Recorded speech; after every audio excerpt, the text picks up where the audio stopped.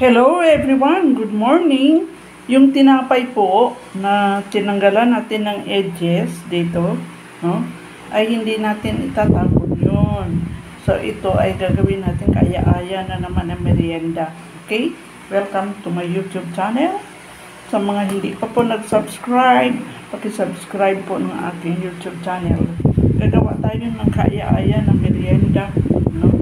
O snacks today out of this bread. Mm. Any bread will do, no? Uh, kahit anong ordinary na tinapay, mm, pwede nga natin magawa ito sa pandesal, no? sa ating almusal. So, ang gawin natin ay ganito lang, i-flatten lang natin para medyo lumapad. Kasi nakakasawa naman kung lagi na lang, no? na tinapay, kinakain na lang agad, di ba? Okay? Pero ito gawin natin nutritious na merienda. Shout out pala sa mga aking mga subscribers, sa aking mga suki na laging nanonood sa aking YouTube channel. No? Hindi ko na masabi ang mga pangalan nyo kaisa-isa kasi marami kayo. Baka magtampo ang hindi natin mabati. So, so madali lang ito. Kahit mga bata ay pwede gumawa nito, no? Kahit tayong mga senior citizen ay pwede rin, no? Gumawa. Ayan, mayroon po akong lettuce pang salad, no? Pwede natin ilagay ito sa ating bread. At mayroon po akong nahimay-himay dito na crab sticks.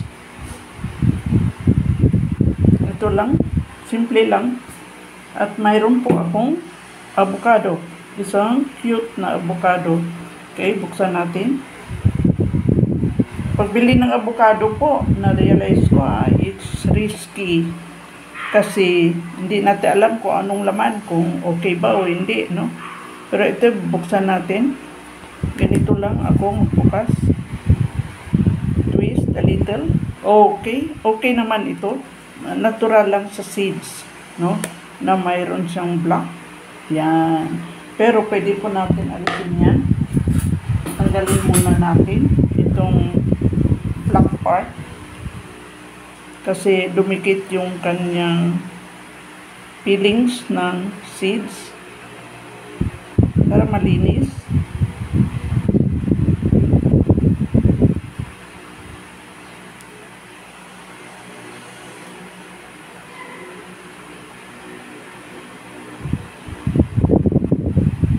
So kung minsan, pagbukas mo, malinis na malinis na sama-sama sa seeds.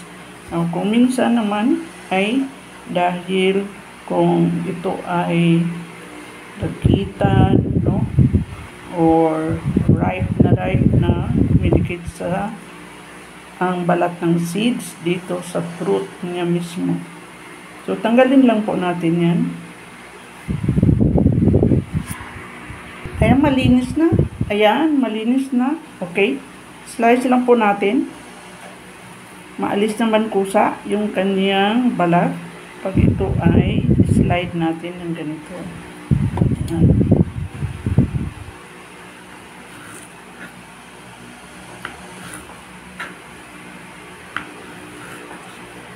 Tamang-tama lang pagkahinog ng ating avocado.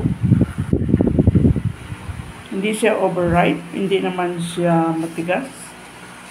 Pero pwede na siyang kainin.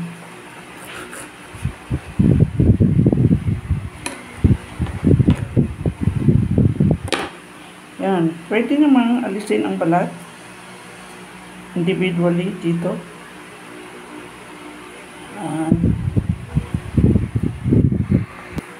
Ayan, simple lang ang ating mga ingredients. Ang avocado, pinaka-nutritious na fruits na among other fruits, no? Pinaka-maganda. The wonderful, wonderful na prutas ang avocado. Grabe. And then, mayroon tayong leaves. And then, mayroon tayong crab sticks. So, ang gawin natin ay ganito. Itong ating bread. No?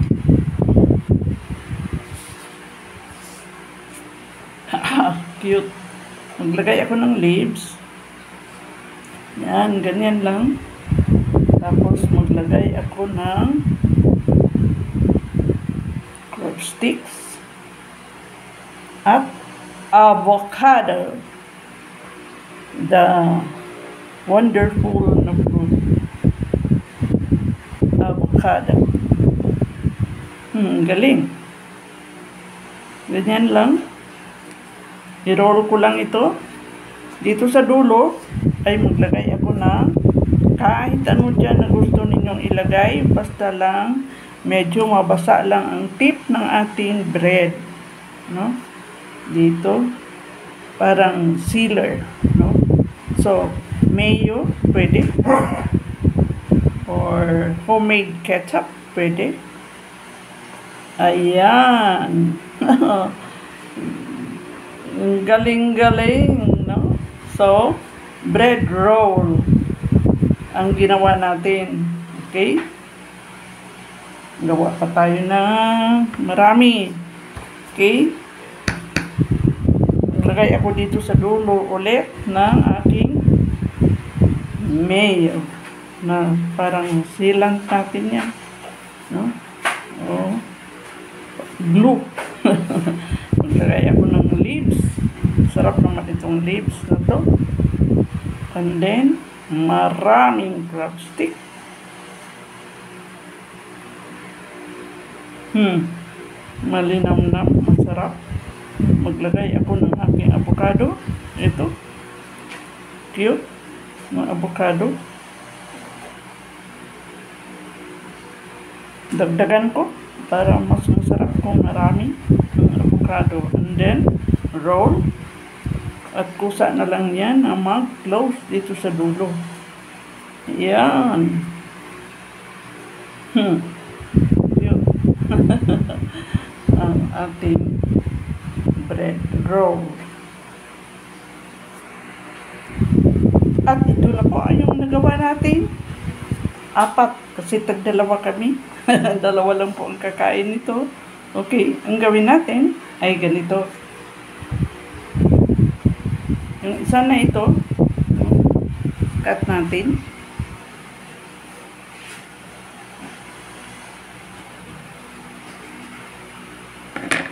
See this? Exciting. The avocado and the crab stick and the leaves. Cute. okay. Kasi malaki naman. No? Ay putol-putulin natin ito. Wow. Single bite.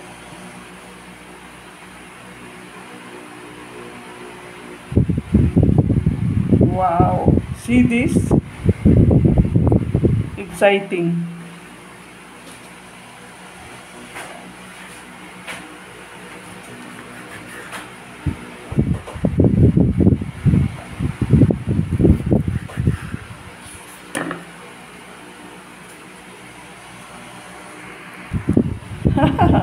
Ito na po yung ating bread. No? Okay, ang gawin natin, ilagay natin po ito sa stick para madali kainin. So, tuhugin ko lang sa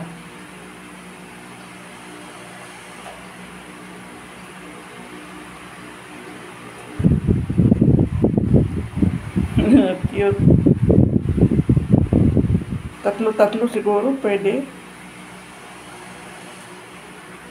Yan, pwede ng pang party. Pag may children's party, pwede po natin ito i-serve sa mga bata. No? So, ito lang ang hawakan, yung stick. At, pwede nang i-serve. Okay? Gawa tayo dito sa medyo maliliit na cup. So, pwede nyo ma-measure para para pareho ang laki. No? O ang kapal. And then, tuhugin lang natin ng stick para madali namang kainin. Simple lang. Hindi na po ito lulutuin. Yan, galing. Taran! At yan na po ang ating finished product. No? Ang sarap-sarap. Yummy, yummy. Mayroong ubo-ubo kasi gusto nang kumain. Kung gusto niyo pwede kayong maglagay ng isang tuldok lang na hot sauce sa mga gusto lang. Or, pwede rin, any kind of jam, pwede rin. Or, pwede rin kayong maglagay ng, halimbawa ay Tasang Islands, kung ano lang po ang gusto nyo. Pero ako, I prefer may kunting kagat ng hot sauce or sweet chili sauce. Pero in itself, pwede naman kainin ito na wala na pong dip o kaya toppings. Uh, nasa sa inyo po yan sa taste ng tao. That's it. Thank you very much for watching my vlog. And please keep on watching kasi dito sa kusina ng senior citizen, mga simpleng um, merienda or snacks, no? At saka very nutritious.